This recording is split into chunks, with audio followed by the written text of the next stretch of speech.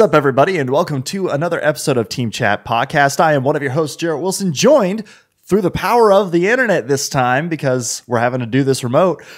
Rachel Mogan. Hello. Buongiorno. Buongiorno to you as well. How are you this fine Sunday morning?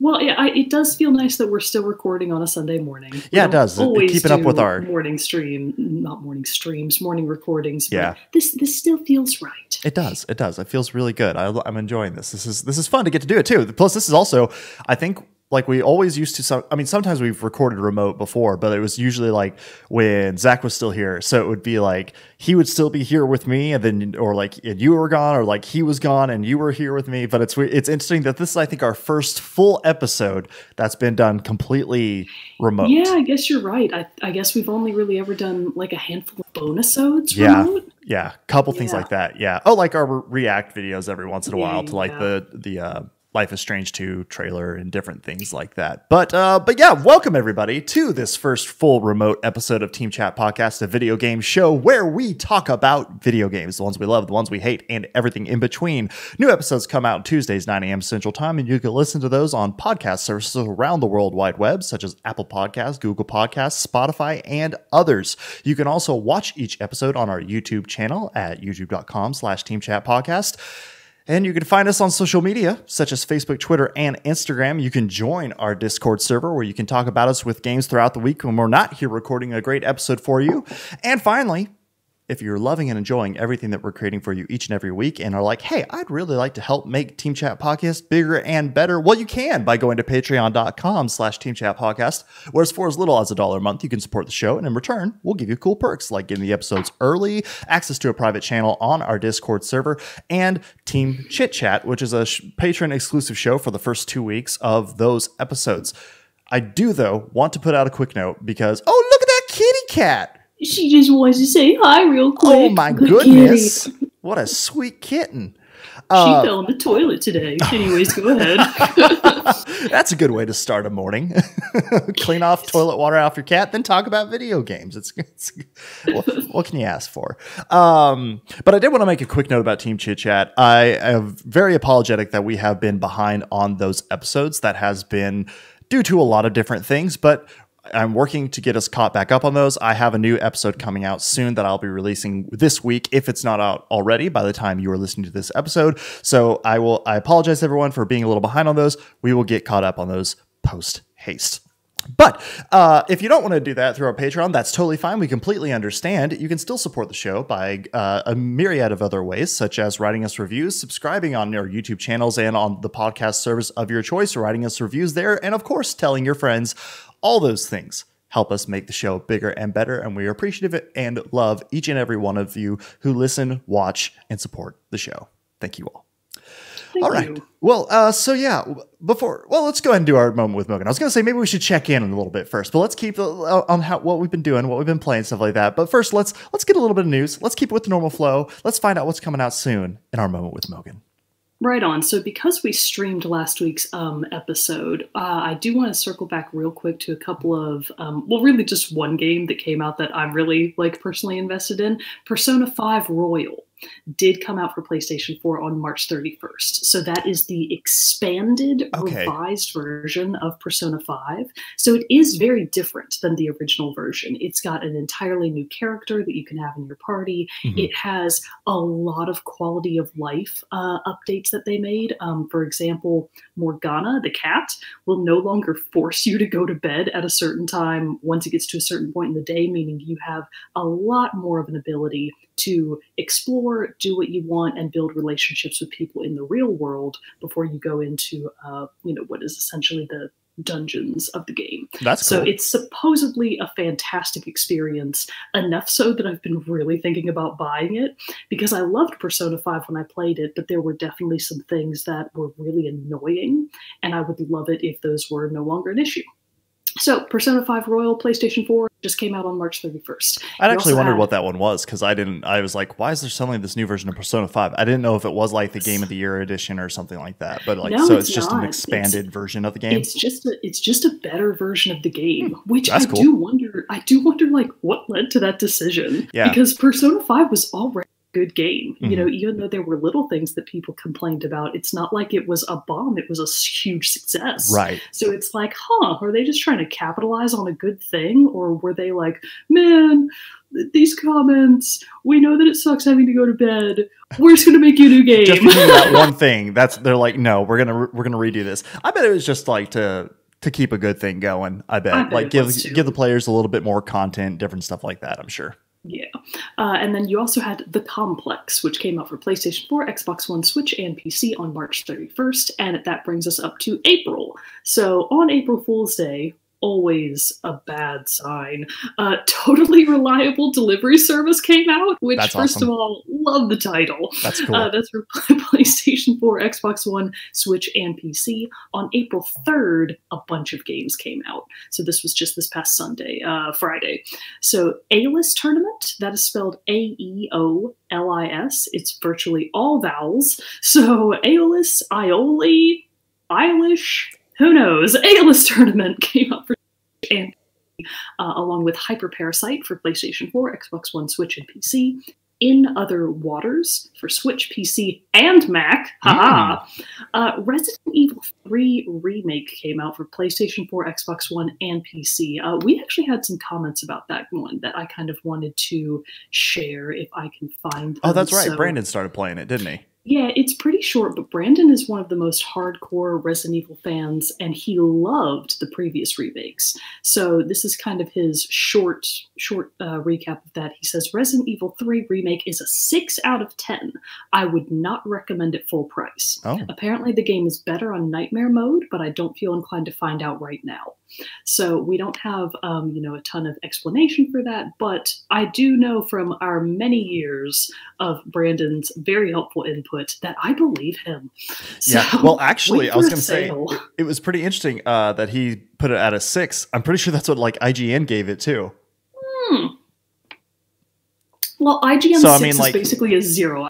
So I a little bit. well, no, more. I'm just I'm just saying like I was like, oh, oh wow, that's funny. They they give like the exact same number. That's pretty cool. He's, he's like the Yeah. great the great minds, you know. They all. Uh, Um, so Below comes out today, April 7th, uh, for PlayStation 4 only. We also have Disaster Report 4 Summer Memories. oh, Two very conflicting subtitles within a game. and we're going Uh, to be living that basically. Yeah, we are. God, you're right.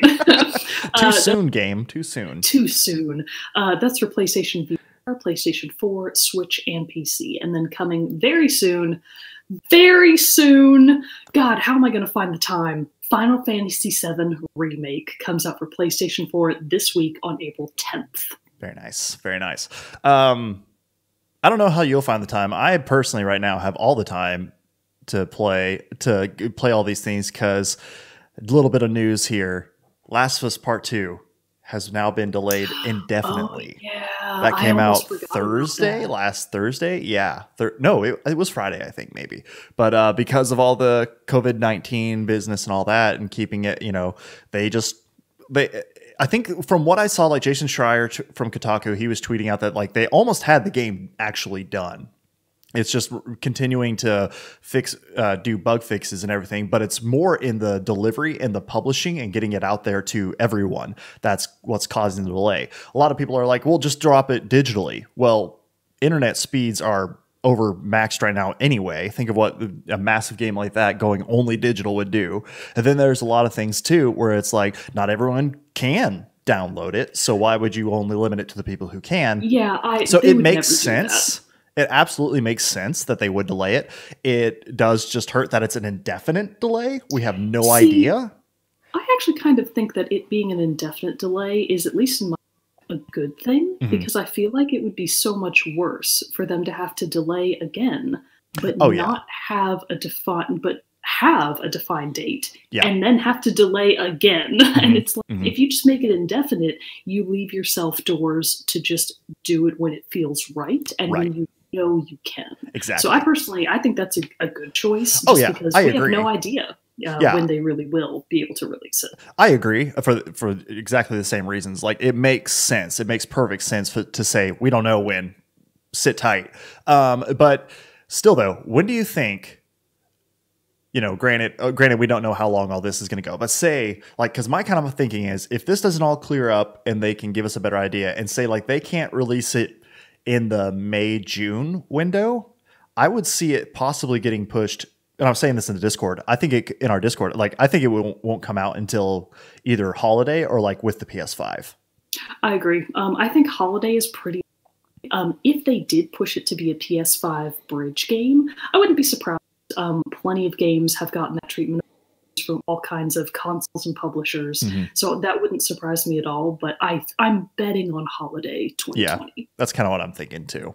But uh, so with that, you know, I've got like all this time now to go back and, pl- and play through like these new games and go through and like redo nice. backlogs. Oh, I mean, I have time in theory, but like I haven't had a ton of time to play games this week. All I need you to Um, do, Jerrett, is your Xbox One, put it on the curb for me, and I will come get it so that I can play Ori. For Man. God's sake! so I actually was playing Ori yesterday, and I uh I got to this. It's it's an earlier. It's like one of the first big puzzles, like right before what would you say the first boss, like the first clear of like area clearing of the game.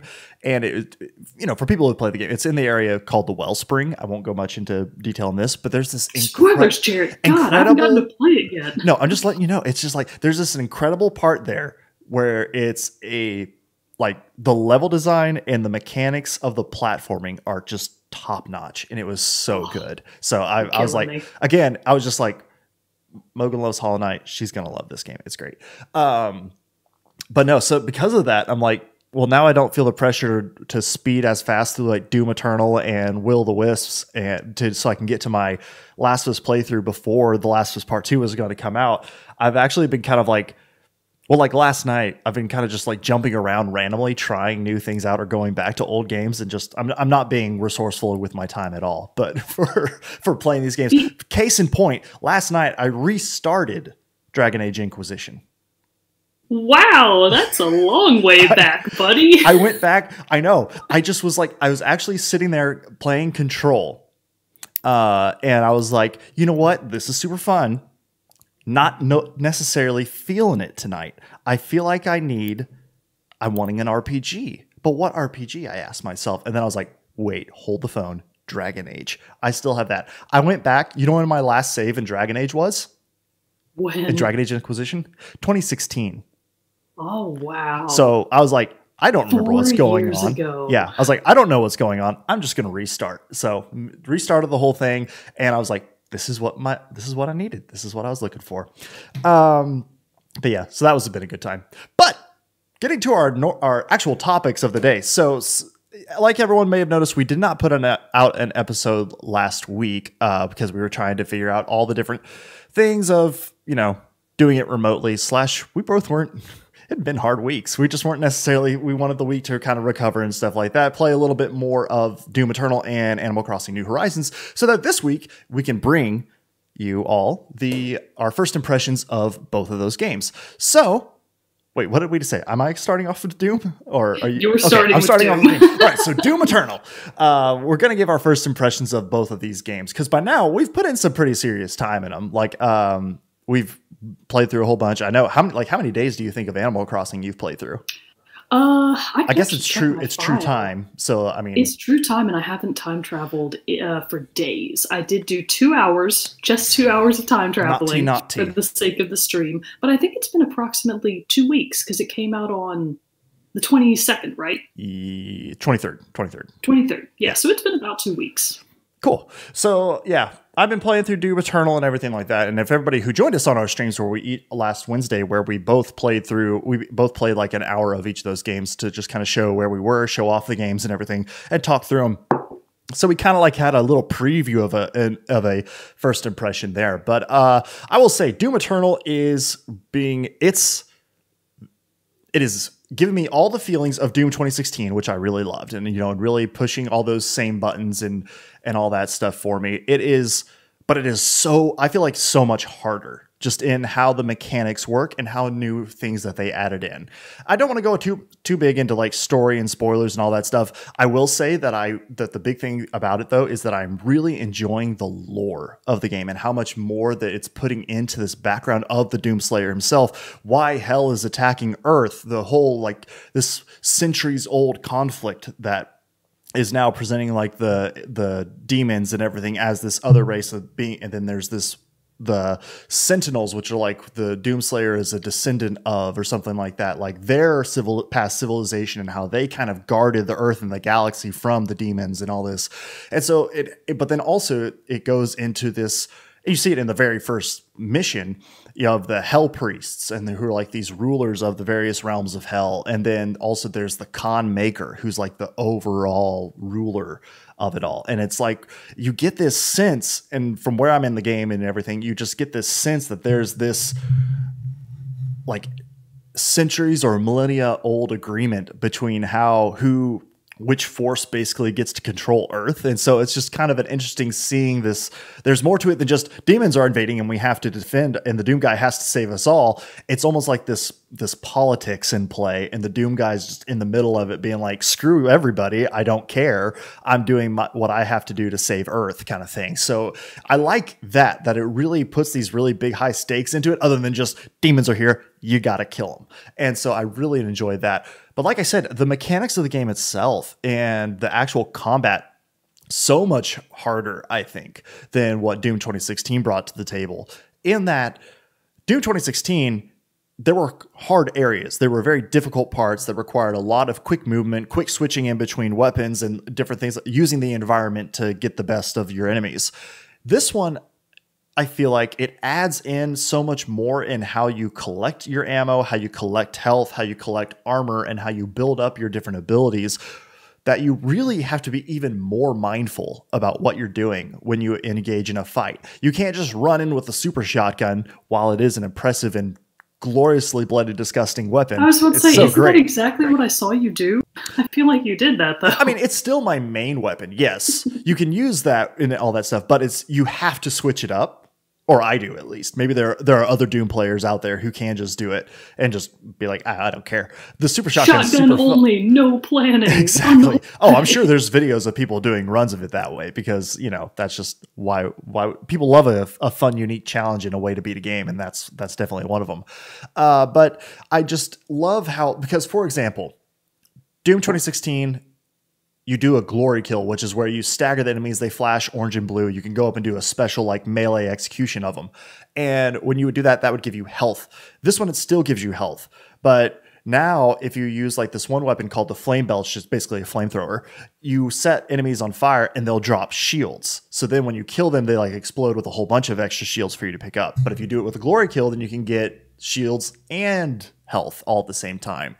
There's also they also, I feel like, limited the amount, the base amount of ammo that you can carry per weapon. Like, I want to say the shotgun even is like 18 shots. Like, it's not very many when you first start out. So you're constantly having to be on the look for ammo. Well, how do you do that? Well, you cut a demon in half with your chainsaw, and that gives you all the ammo in the world and replenishes all your ammo, which I right, always think is really. out of him. Yeah, just pops out of them. They just all carry the gift inside, you know? Um, but what if that's what's in us, Jerrett? what if when what if when we die, our decompose and we behind shotgun ammo? That'd be. but so it's like you have to be thinking of all these different things. Uh, then and because you just can't. There are pickups around on the ground and everything like that for you to be able to go grab extra ammo, extra health, extra shields when you need it and stuff like that. But that's still the majority of the time you're in combat surrounded by anywhere from five to 50 demons and you can't necessarily be like trying to make it from one side of the map to the other side of this room where you can pick up extra health and ammo. So you have to be constantly thinking constantly keeping an eye on the recharge rates of all your abilities so that you can unleash the maximum amount of death and destruction that you can. So that's been very very difficult and rewarding at the same time to figure out the balance of just pure hard aggression and knowing when you have to fall back, find the, you know, know how many charges of chainsaw fuel you have so you don't be like, oh, I'm out of all my ammo. Quick, cut the nearest demon and you're like, oh, no, nothing in the tank, nothing there. And so you got to constantly be just staying on top and mentally checking. Okay, where? Okay, cool. My frag grenade has recharged. My flame, my flame belch is ready to go. Great, because I'm low on shields. So it's been learning all those mechanics in the combat has been very, very, very rewarding. But it also means it's been very hard. And even the beginning levels of this game have been very difficult. Like I was I, saying on the yeah, I had heard that the difficulty spike from Doom 2016 to Doom Eternal was pretty extreme. Do you find that that's generally true? I would say so. I because I play it and I played Doom 2016 too on Ultra Nightmare, not or Ultra Violence, not the hardest, which is like Nightmare and Hell. I can't remember, but um, what the hardest level is, but I'm the one below that playing Ultra Violence. And even in Doom 2016, the first couple, the first level in Doom 2016, I know I played through and I know I had difficulty with, and I was like, oh, okay, I died. I died. Oops, a couple times here and there. Mostly like s- dumb mistakes, you know, like jumping off a plat, falling off a platform accidentally, getting just too overwhelmed by enemies and stuff. Doom, uh, this one, and I, but I want to say it was in 2016 Doom, it was like near the end of the level when I started dying and running into those things. This one, like the first spawn room where you had to fight him, I, I just started dying and I was like, oh, this is not what I was expecting because I was expecting to kind of have the same health and armor ratios and stuff like that and the same level of defense. But I found myself running out of ammo so often because I was just playing boom, boom, boom, boom, just trying to like blow everything out of the sky. And it, and it just I died so much. So yeah, they they definitely threw in a learning curve at you really hard. So when you run out of ammo um, and you're low on shields, is there any way that you can perchance uh, open up political talks with the demons? Can you all white flag? And, yeah, like, can you surrender? Can you join them? I'm sorry. Never mind, guys. This has been a whole big misunderstanding. I'm oh man, I just cut your buddy in half, but I'm really sorry. Can we talk this through? Maybe. I mean, I, I was actually on my way for an interview, you know, with with your boss, with your and, boss, and then you guys just all attacked me. I just couldn't I, get there in time. I, I was running late, so mm-hmm. you know, you forced my hand. um, yeah, no, I don't think they would react well to the political peace talks, but you could try if you were wanting to go for the pacifist run of Doom which you can't do, but I'll, I'll, make it work. uh, but no, so so the combat and all that's been great too. The level design has also been really well done in terms of also the levels are massive. Like on the stream, I was talking about that with Brandon. We we were just talking about like how big and expansive the levels are as opposed to Doom 2016. I want to say, I think I'm like the fifth or sixth mission fifth, maybe. And like each one is like an hour long to beat. Like even on stream the other day, uh, when we were playing just the first level, I think it took like 45 minutes to go through the first level. And so it's it's a hefty game. But the what's great about it is that it keeps up. Not only do you just, you know, because it's it's fairly linear in how you're supposed to go. You pretty much have one determined path that you follow to get through each level. But what's great is they pepper in so many secrets and other environmental things that you can mess around with and find to either be, you know, weapon power ups or collectibles, different things like that. Like there's a ton of different things for you to explore and secrets for you to find. You can even find like uh, music records of like tracks, of soundtracks and stuff like that in there. Another place like that. You can find little toys of all the demons and everything like that. So it's it's cool that it, that it not only gives you so much these big, huge, expansive levels that aren't just long to go through in general. It also gives you these little puzzles that you can figure out from time to time. Like okay, I can see the secret question mark floating way up there how do I get there? So then in the next areas as you go through, you're constantly like looking in it, every nook and cranny, being like, "Ooh, is this a breakable wall? Can I get through this grate? Do I jump up here?" You know, just trying to look and see all the different places where you can try to find these secrets. That makes it super fun to just be able to jump out there and, and give you more than just running and gunning all the time. The old, the the really old Doom games kind of had that too, didn't mm-hmm. they? Where they yeah, very much. Secret yeah, very much is a carryover of the series. I'm just glad that they're still keeping it up. That there's that there's so much to do. Each mission has 10 to 15 10ish probably collectibles per level. Does it tell you like on an on a screen or something that you've collected X out of how many? It actually does. If you go to the map, it has Oh, like a little hex grid that shows, but if it it doesn't tell you what they are, it just shows a question it just mark. shows how many. and as you got. find them, it fills it in on the hexes. So I you can kind of keep track and everything. And then at the end of the level, when it gives you your progress update and everything like that, it like shows how many you found and how many extra XP that gives you for for going through the mission and everything.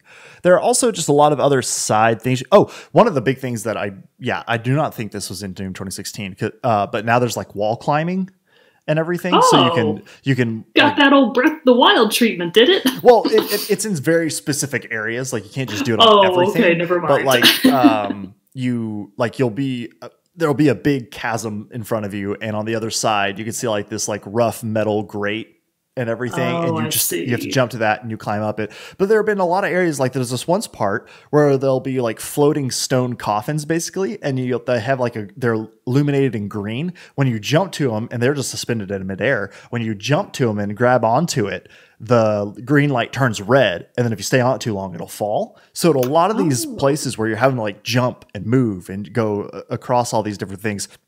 Again, just a nice little touch other than just jumping from platform to platform. There is jumping from platform to platform, yes, but it still adds in this little extra spice of life to it that wasn't there in the 2016 of having these uh these these different environmental hazards that you had to avoid. So I've really had a big a big uh, really great time in it.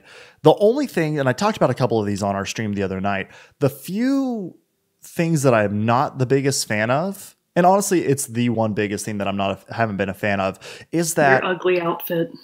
no, it's been great. The, Oh. the Doomslayer armor is great, actually. Here we go. Rip and tear, my friends.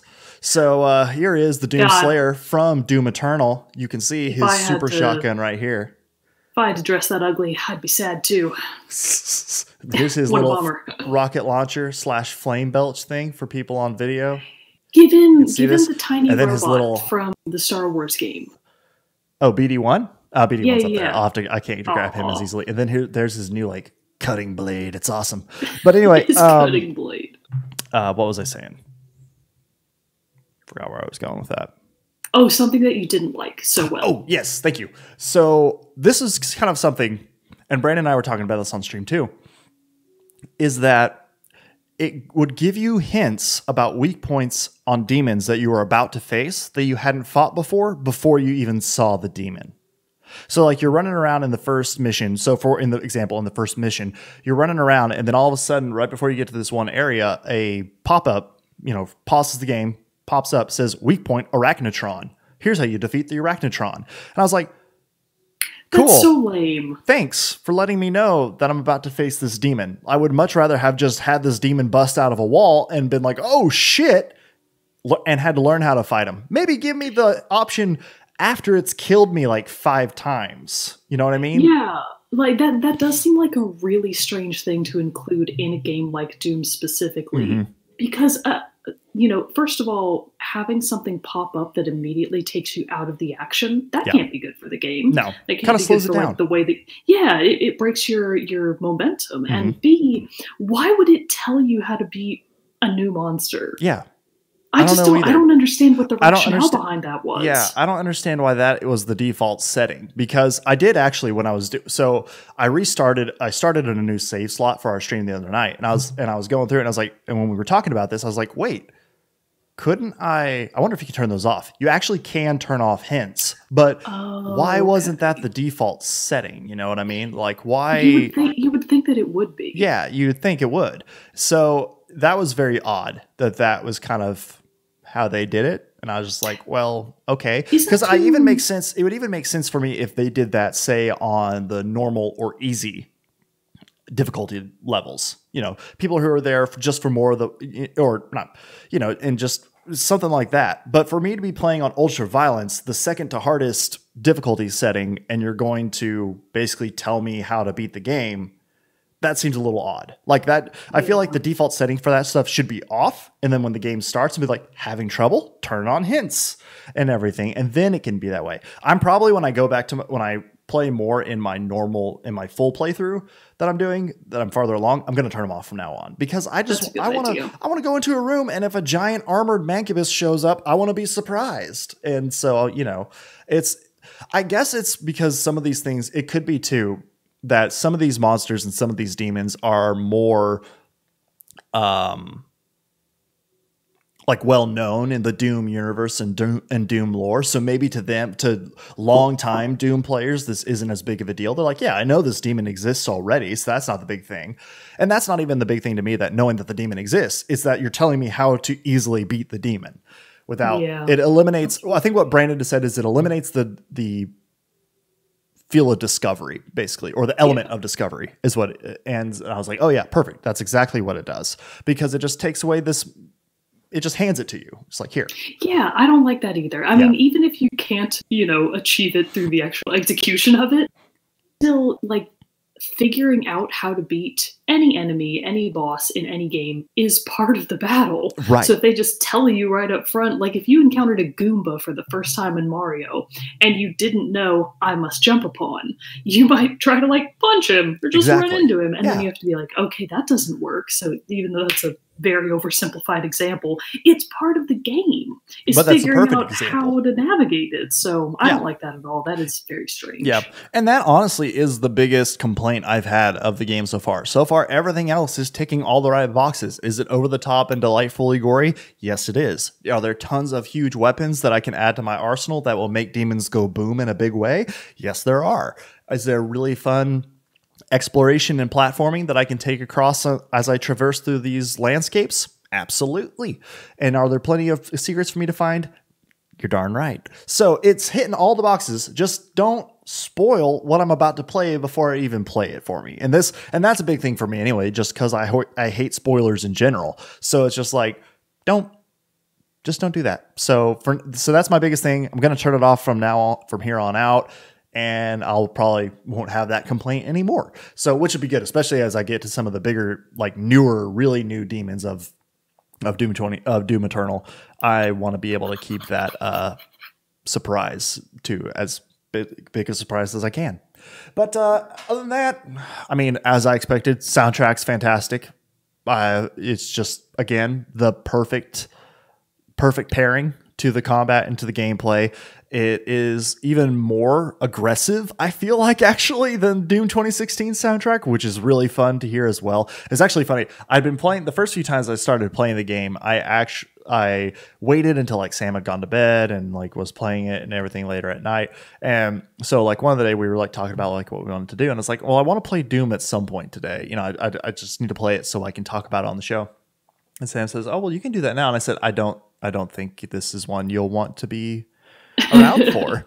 so, uh, and so she like went, that. she went and like did something else, and then came back in as I was like just starting to play it and getting it turned on and everything. And she sat there for literally five seconds. and Was like, yeah, no, I'm out. This is I don't want to be around this at all. It's too hectic. It's too just like yeah. I was like, yeah, no, it, it this I this is what I meant. I I don't think it would be in your uh in your wheelhouse of something you want to be trying to do other things while I'm playing this beside you. So. I would love it if after you like beat the game or something, uh, if at some point the game allowed you to get rid of the original soundtrack, even though it is wonderful, in favor of like Beethoven's classical compositions. That'd be really some cool. ridiculously mismatched music. I think that would be really fun. Yeah, that would be really neat. Um, let me see. Anything else that I wanted to touch on before I hand it off to you for Animal Crossing? I'm trying to think. Uh there's a there they've upgraded to a lot of the upgrade the upgrade system. There's a lot more. There's like these different uh, a lot more collectibles or current currencies I would call them that you can like for armor for points, sentinel points, sentinel batteries, different things like this that you can use to that way you can upgrade your suit and armor and your weapons and mod slots and different stuff like that. But that's pretty par for the course online with what there was with Doom 2016. They just added a few more layers to it, I think, to give a bit more customization. But overall, I'm having a blast. But how about you? A literal blast. A literal blast. How how has your time with Animal Crossing New Horizons been? So, Animal Crossing New Horizons uh, is, you know, first and foremost, everything that I could have asked for um, in an Animal Crossing game. It is so far the pinnacle of what Animal Crossing has been able to achieve in its series. Uh, I think there are one, two, three, four. This would be the. Hold on. it's still Animal- it's still doing it. Is it is there that setting in Discord itself that's something about like where it auto? What was that thing you had me change the other day? um, let's where it like auto out. auto switches or like tries to auto mute you or something like that. That's what Let's it sounds like it's doing. Because it's normally like every time you stop talking, it like cuts, and then when you, but it's like even when you just take tiny little breaths. Uh, that would be. There's echo cancellation, noise reduction, automatic gain control. It might be maybe mm, no, not that. Um, there's there's it w- automatically determine input sensitivity. That might be it. okay, I'll turn that Turn that off. Okay, so now it's just set to you know middle of the road input sensitivity. Okay, that sounds good on my end. I think that should work then. Try, let's try Okay. this out. It, it doesn't seem to be doing it yet. Just for whatever Alright. reason, when you started talk, talking more this time, it wasn't doing it earlier. It just for whatever reason now it decided to be like, all right, we're gonna screw up. So okay, Animal That Crossing. is okay. Animal Crossing. Uh, so, Animal Crossing New Horizons is first and foremost uh, everything I could have possibly wanted in an Animal Crossing game. Almost. There's the, there's a tiny little handful of things that I'll bring up later, uh, but by and large, it is you know the height of the Animal Crossing series so far, which is to be expected. It is the latest and greatest thing, but sometimes some series can manage to undo all of their past accomplishments and newer games wind up being worse. That is not the case with New Horizons. Uh, Animal Crossing has been out since the GameCube era. I think there was the first Animal Crossing, City Folk, Wild World. Those are reversed. Wild World, City Folk. New Leaf on the handhelds on the 3DS, uh, and then this will be the fifth uh, formal installment of Animal Crossing. There have also been a couple of smaller side games like Happy Home Designer, which still got a lot of love, but you know, Happy Home Designer wasn't what most people would consider canon Animal Crossing and part of the real series.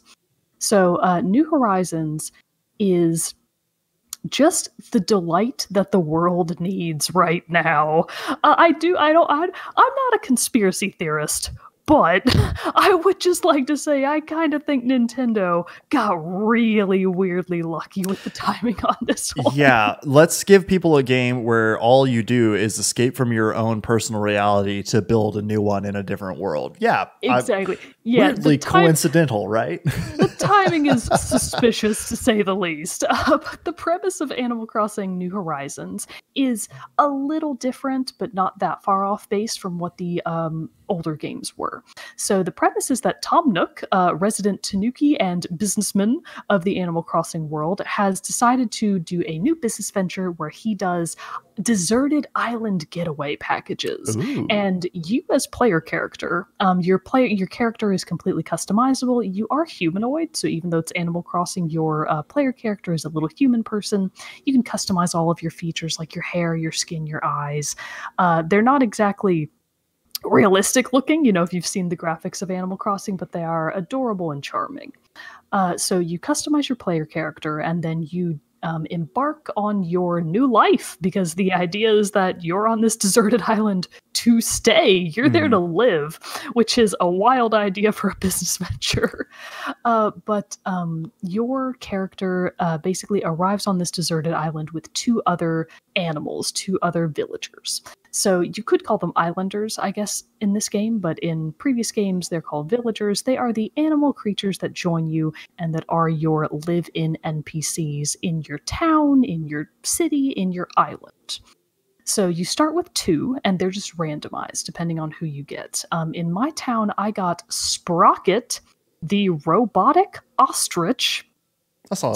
Uh, yeah, I saw Sprocket when we yeah, during you saw stream. Sprocket. He, he was on my stream. Um, I think I mentioned at the time that I didn't hate Sprocket, but I also didn't really like him that much because he's he's pretty he's kind of creepy looking. Yeah. Like if you see him in the distance, you're like, oh god, he's coming. so he's very nice. He's like a jock type villager, so he's very sporty. Uh, but he he was a little creepy.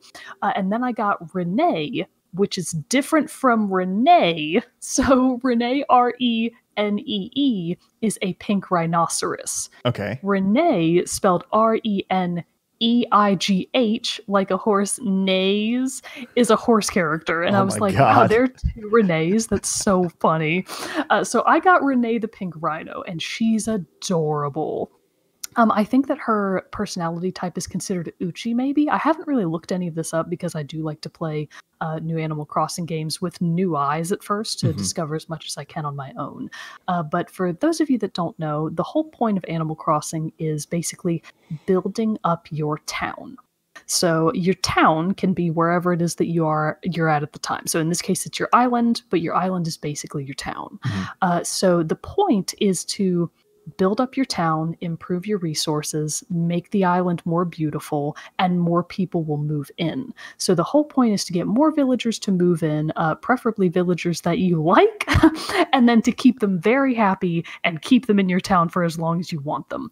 I actually just found out yesterday while I was playing that Sprocket wants to move away. Oh, really? How? So, uh, How could he do that?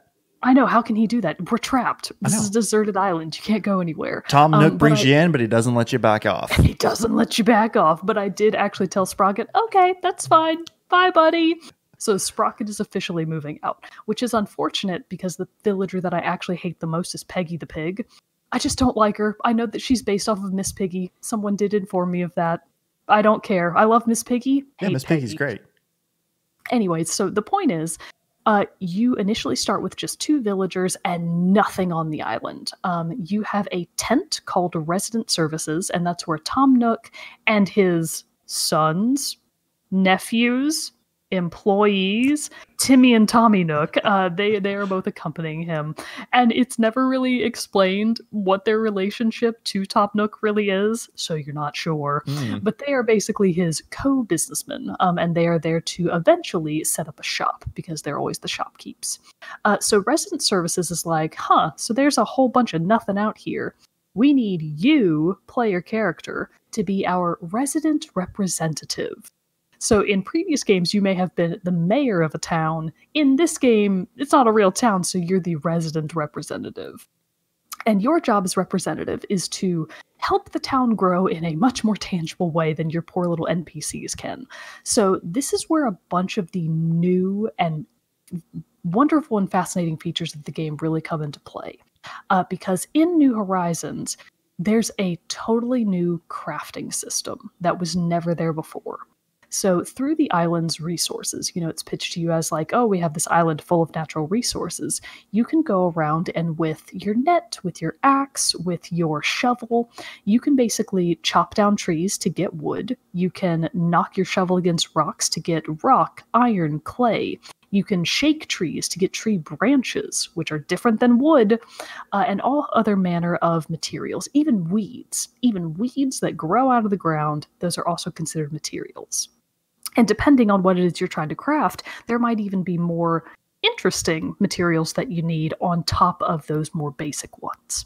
So the crafting system, which in the context of uh, New Horizons is called the DIY system, which how cute! It's much more fun than the word crafting. Yeah. So the DIY system is you have a workbench and you through XYZ actions get recipes that you can use to make DIY things. So you can DIY pretty much anything. Uh, the key item that you initially start out being able to DIY are your tools. So you do actually have to make your own axe. You have to make your own bug net. You have to make your own shovel. You have to make a slingshot. You have to make a fishing rod. All of the above, you have to actually craft those yourself. I like that though, because a lot of I- games, like even like Stardew, you start off with all those tools at your disposal already. So Yes. Th- that's kind of cool that it, it takes it a step further and is like, no, you got to make everything. Like Yeah. start purely from scratch. Yeah, I don't think it gives you anything to start with, um, but I believe that the most basic items you need to make, uh, you know, maybe the axe and the fishing pole or the bug net, they really only require things that you can shake out of trees or that are already readily laying around the ground. Like every rock on the island will usually have one or two smaller rocks um, available for you to just pick up without having to crack into the rock with your shovel. So you can just pick up tree branches, you can pick up rocks, and then craft the most basic essentials before you improve your tools. Now, I'm going to take a quick aside here to mention the one thing about the game that I genuinely hate Okay. and that I don't understand why they. Well, I will probably eventually understand, but for now it is incredibly annoying. Uh, currently, when you start the game, you have a flimsy axe, flimsy fishing pole, blah blah blah. They are all the title word flimsy, meaning that their durability is terrible. Mhm. So let's say that you have a flimsy axe. If you use it against a tree, I don't know, 10 times, it breaks and you have to go make a new one. Oh wow. Now, at the point that I am at, which is about two weeks on without any time traveling of a significant nature, uh, I have upgraded to the, I think it's called the kind of good or like the moderate, basically the moderate level tools. Mhm. So they have a little bit more durability, but they still break after about 30 uses. Oh and wow. that's every item. That's your slingshot, it's your watering can, it's your fishing pole. All of them will break, and you have to make new ones.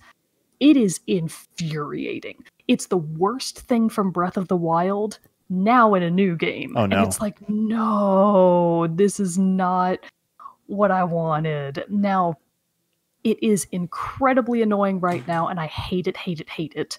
That being said, it is very easy to get new materials to make more tools, but it just breaks your flow. It's an annoyance. I can't stand it. And I think that eventually they will in game patch that out by way of better tools. Uh, in the previous Animal Crossing games, you had to use ores like silver and gold Mhm. to improve your tools to where they had basically maximum uh, ability. So a gold watering can could water more flowers than a basic watering can could. A gold axe uh, took the least time to chop down trees and could do it very quickly. Uh, and so on and so forth. But the point is, you eventually got much better quality tools in the previous games. So I am banking on, I mean, fingers crossed over here, that eventually you're going to get recipes for super improved tools that are indestructible. Well, it's just uh, kind of a. Sorry, what were you?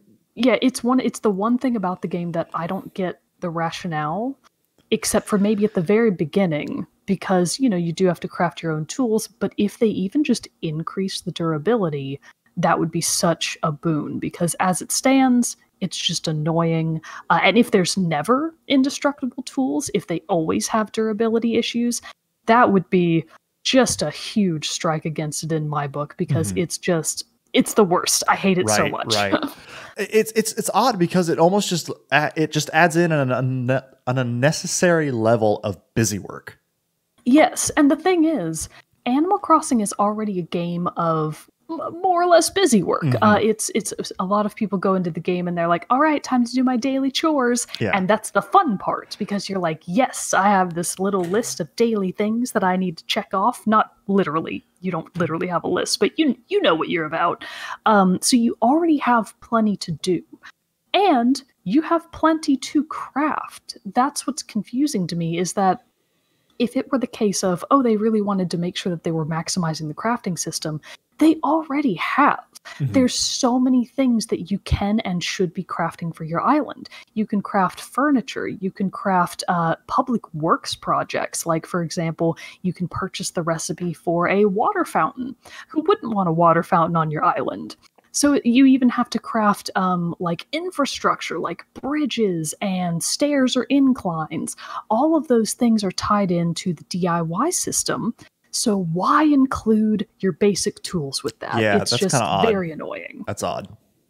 Uh, but that's kind of the one tangent that I wanted to go off on for the one thing about the game that I genuinely don't like. I like how we Uh, both every- have just one thing so far that we're like, thing. no, really grinding our gears. Uh, something that they did do that is a massive improvement that I really like, and this isn't necessarily new, it's just improved, Mhm. is the way that your inventory works in game has A, been super expanded. You can hold much more than you previously could in other games. Uh, and B, what can stack in your inventory? Uh, previously, you know, most items wouldn't stack. Uh, fruits would stack. That's about it. I think fruit might be the only thing that used to stack. Yeah. Maybe some small, like bells. You, you could stack money in your pockets, but only up to a certain amount. I don't remember much being stackable. But thank Christmas. In this game, A, your crafting materials. Most of your crafting materials are all stackable. So things like flower petals, obviously your iron ores, your tree branches, those all stack on top of each other. Mhm. Uh, to a certain point. I think for things like wood and iron ore, those go up to 30, and then it has to start a new stack. Uh, but for things like weeds, you know, weeds goes up to 100, and then it starts a new stack. So the stacking system and the inventory have been greatly expanded and, and improved. Um, 10 out of 10. Love it. Nice. Uh, the other things that they have done that are not necessarily new per se, but just expanded and improved, is in previous games. I hesitate to call it an achievement system because that seems very out of place for Animal Crossing. Uh, but in the previous games, if you did, you know, XYZ thing, if you caught a hundred fish, let's say, in Animal Crossing New Leaf, a weird walrus would come to town and he would be like, hello there. I'm the medals officer, and he would give you like a bronze, silver, or gold medal because Okay. you had done something to earn that. So it is more or less a trophy system. So, what that is in New Horizons is different and better. First of all, it's massive. When you bring up the list of uh, what does he actually call them? They're like Nook. Oh, the Nook mileage program, of Hmm. course. So Tom Nook, as part of his deserted island getaway, he has this mileage program. So it's like airline miles, I guess. Uh, but you get both in-game currency, which is bells, that's basically gold. But then you also have this new thing called the Nook mileage program, and it's basically you earn miles for doing anything on your island that improves the state of the island. Mhm. That includes watering flowers, uh, you know, planting new trees, etc. And that ties into this in-game trophy system uh, of the Nook mileage program. So for every new milestone that you accomplish, you get more Nook miles to spend on other things, like bigger public works projects, uh, tickets to visit other deserted islands just for fun, Mhm. uh, and all other sorts of things. So that's been a really fun experience because it does give you something to track your progress more or less of how well you're doing in your island. But you only encounter new, um, basically unlockables, new achievables when you personally hit them. So there are a bunch of blanks on my current Nook mileage like list of things that I just haven't encountered yet. So I don't even know what those are. There's no hints. It's just a blank space of something that I will eventually encounter. Mm. And I really like that because it shows you that there is something there. You're going to get to it eventually, but you don't have it quite yet. So uh, I love that. I think the mileage program is a really good addition. Nice. In terms of, you know, just kind of the general look and feel of New Horizons, it's perfect. Um, it's don't fix what isn't broken Mhm. they really didn't have to change the atmosphere of Animal Crossing at all because that's not what the Animal Crossing fans would want. Uh, it is very relaxed, laid back. Take every minute at your own pace. Do whatever you want. No holds barred. If you don't want to improve your island, don't. You can just derp around and catch fish all day. If you do want to improve your island, you can do it in a massively impactful way. So this is probably the biggest uh, change of Animal Crossing that uh, I. It's so big, I'm actually shocked. Mhm. Um, so, in terms of previous games, when new villagers moved in, or when new public amenities became available, like a better Nook store, for example, those were fixed locations. Villagers would move in at random on your island. They would just plop their house down one day, and you'd be like, crap, that was right on top of my special pink flowers. Uh, uh, uh, Darn you, new villager. So it was actually very annoying. In this game, when somebody wants to move to your island, you pick where they go. oh, nice. You get the housing kit and you basically pick exactly where you want it to go in your island. On top of that, your own house. So, you know, you put your tent down, then you build a house.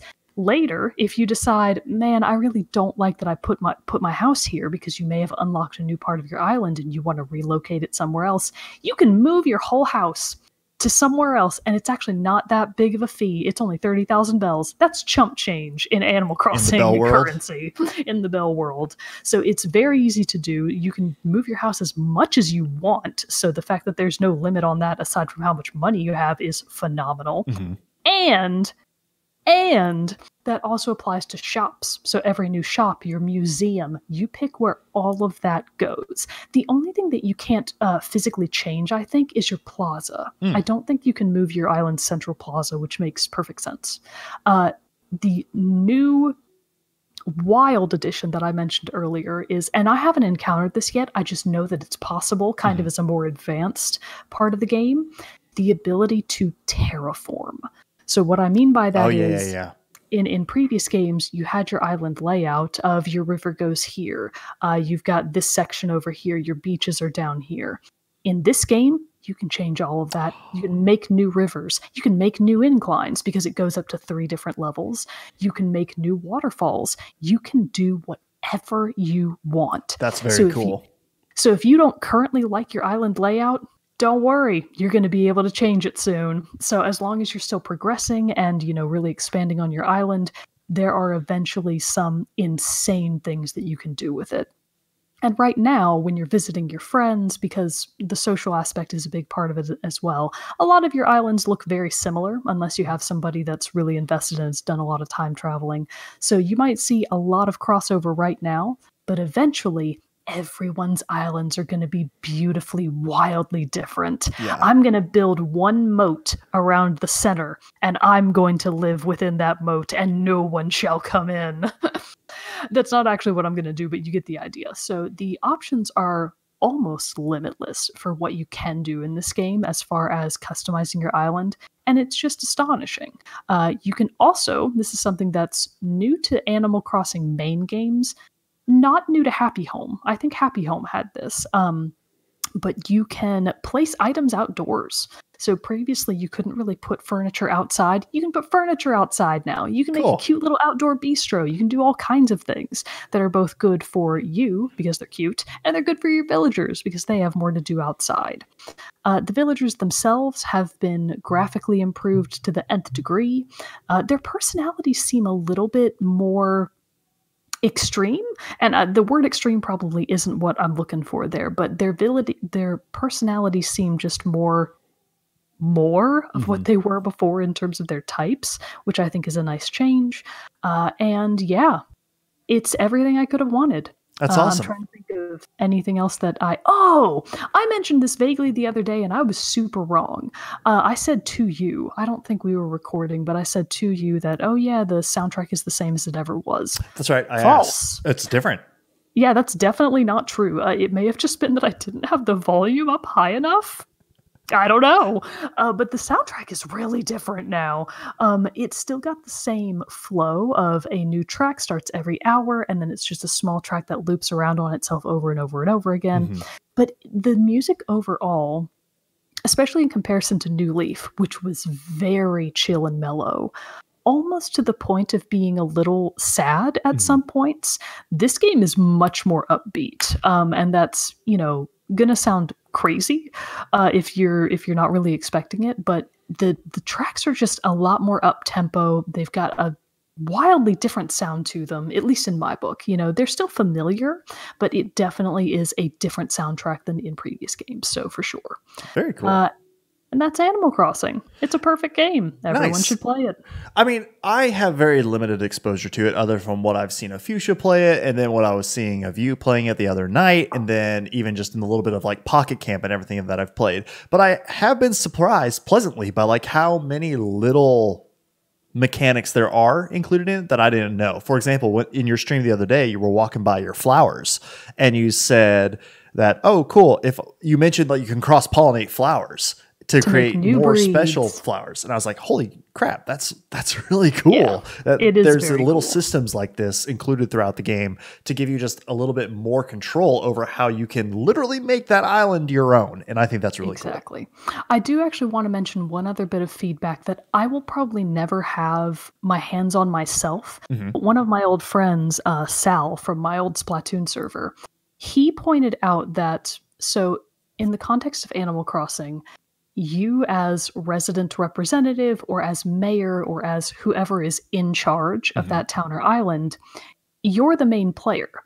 In the previous games, if you had because the game is massive, you can't have multiple save files. Hmm. Your file is the game. Oh wow! Now, other people can join you. So, let's say, for example, that you're a parent, you start your own Animal Crossing New Horizons file, but you want to add your kid in because they want to play with you too. So, they can create, of course, their own Nintendo profile on your same Switch, and then they can join your town.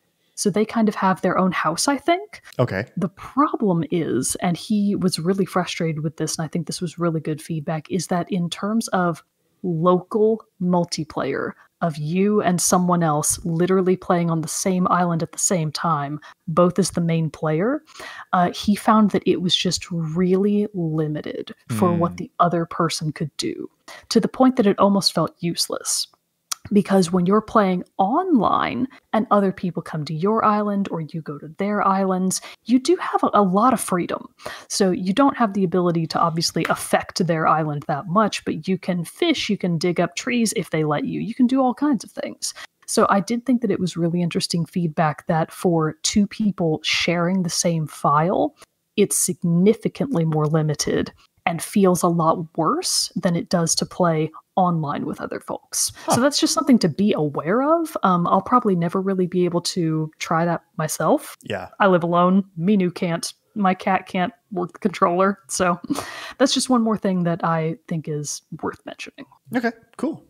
Good to know. But overall, though, it's everything you could have hoped and dreamed. So, like, Overall, 10 out of 10. great. Would Yeah. recommend. Absolutely. Uh, everyone should play Animal Crossing. The more, the merrier. Um, of course, you can, there's a lot of online connectivity in terms of you can create your own in game designs and then share them via QR codes. You may Mhm. have seen people talking about have seen a QR lot of- codes again. I have just So seen like online, just a lot of people being like, "Here's my Yeah. QR code for this jacket or this shirt or hat or something like that." Yep.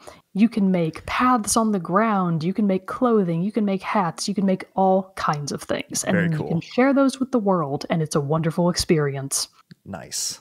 Well, that's been really cool to hear. And I'm really glad that it's living up to your expectations, especially because of how long of a big wait and everything it was for this game. It's great to see that it, it has been not a letdown. So, you know, that you've been having a lot Um, of fun with it. Why doesn't Sam have her copy yet? So I have tried. I, I keep like dropping little things. Like when I saw that you could like make and design your own clothes, I was like, "Hey, look, Sam, you can you can play this. You can have it." Sam knows herself. That's why we don't have it yet because Oh, she knows that goodness. sh- she would start it and it would be something that she would. I mean, that's what happened when she played Stardew. So like she just got. There's nothing wrong it. with that. Oh, I know, and that's what I tell her. There's nothing wrong with that. Like it's great. I love that you can have these games like this and that you just really like you know can lose yourself in and have and spend all day. And I think it's awesome. But she also is like, I can't do that every day. and I was like, I understand that too. So, That's but funny. uh, I, I'm, I'm working on her. I'll see. I'll see because I know that like it would be a fun one for her to like. I don't know if. I'll ever play it necessarily, but I know that it's one that she would enjoy a whole lot, and then she could like jump in on with with uh, you and Fuchsia and all that other stuff, and like do some fun stuff. So I'm I'm slowly ch- trying to chip away at her resolve. So All right. I believe in you. You can do it. but uh, of course, everyone, we would love to hear your thoughts as well on both of these games, Doom Eternal and Animal Crossing New Horizons. Have you played one? Have you played the other? Have you played both? We'd love to know. So let us know your thoughts on both of these games. Send us an email at teamchatpodcast at gmail.com. Follow us on our social media and let us know there. Comment below on the YouTube video. Join our Discord and talk about it with us there. But before we go, we do have to do our soundtrack spotlight, which, speaking of our Discord, our entry for this week's soundtrack spotlight comes from our Discord and uh, a new a new submission too from a new from a new from a new uh, member. Yes. So this comes from Green Leader 87 on our Discord, um, and he writes for our soundtracks. I've been really enjoying your episodes on your top 10 game soundtracks, and it's Finishing gotten me next week. of- finishing next week, and it's gotten me thinking about some of my own favorites. So he says, while there are some really good soundtracks I've listened to over the years, the two that I keep coming back to are Stellaris and Hollow Knight, obviously. Mm, Hollow Knight. Uh, but Stellaris is a game that neither Jerrett or I have ever played, uh, and we want to feature a track from the Stellaris soundtrack. So he says both do a phenomenal job of setting the tone of their respective games. So the track we're going to be free- featuring is Deep Space Travel from Stellaris. Very nice. Well, enjoy listening to that track, "Deep Space Travel" from Stellaris. Uh, do we know the Do we know the composer? I I realized I forgot to look at the composer before this. It might be this person, Brad Sipey, or that might just be the YouTube channel. Let's actually find out real quick. yeah, let's let's give proper cred. T composer. Okay, here we go. I got. I got. Okay, sweet. So, uh, Stellaris, uh, the complete soundtrack was composed by Andreas Waldetoft and Bert Meyer. Very Really cool. hope I got that right. And it includes performances by the Brandon, yeah, the Brandenburg State Orchestra and the Budapest Film Orchestra. Ooh, Ooh, classy. is to be a good one. Yeah, it's really very good. I've classy. listened, I've listened to a couple other tracks from it. Like I have one in my soundtrack playlist that I've had for a long time, and it's solid music. So when he saw when he when Green Leader eighty seven like suggested this to us, I was like, oh yeah, this looks this this is good. This is some good stuff. So enjoy Deep Space Travel from Deep. But until next time, everybody, that concludes this episode of Team Chat Podcast. I am one of your hosts, Jerrett Wilson, joined through the power of the internet by my co-host Rachel Mogan. Peace out. We'll see you all next week for a great, fun, and exciting topic where, as I said, we will be concluding our countdown of our top 10 soundtracks of all time. Strap in. It'll probably be a little bit of a longer episode because we're going to knock out slots four, three, two, and one. So It's gonna be long. it's going to be long, but it's going to be great. And there's going to be some exciting and fantastic music shared with you all. Can't wait for you all to hear it. So tune in next week for that episode. Until then, we'll see you all next time.